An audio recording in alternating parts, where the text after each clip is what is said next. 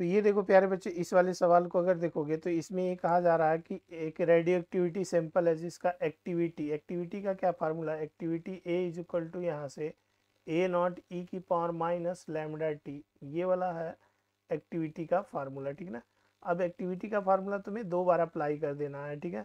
तो यहाँ पे एक्टिविटी जो है वो ए वन मतलब यहाँ से आर वन और यहाँ से आर नॉट यहाँ से मान लेता हूँ और ई e की power minus lambda time T one पर है। ठीक है? अगेन जो एक्टिविटी है, वो ए टू है, उसको मैं आर टू यहाँ दिया हुआ है। तो ये A R not R not दोनों का सेम है। एक्टिविटी समझ समझ रहे हो? सेम मटेरियल है। ई की पावर माइनस लैमडा और टी टू टाइम बाद एक्टिविटी आर टू है। तो ये कहता है आर वन और आर टू के बीच रिलेशन निकालो।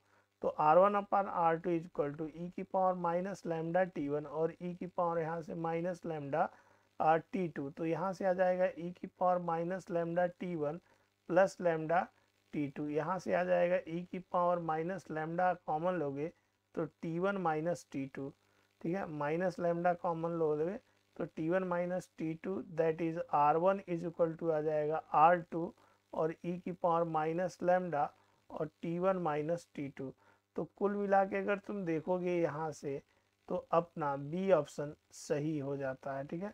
तो this is the this one is the correct option that is I hope कि आपको मज़ा आ गया होगा। Thank you